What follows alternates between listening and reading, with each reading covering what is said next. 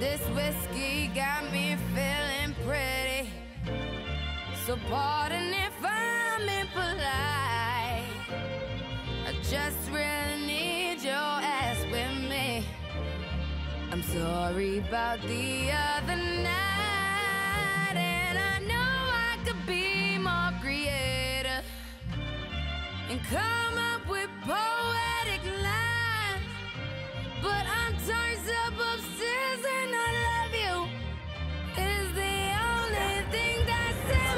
You That's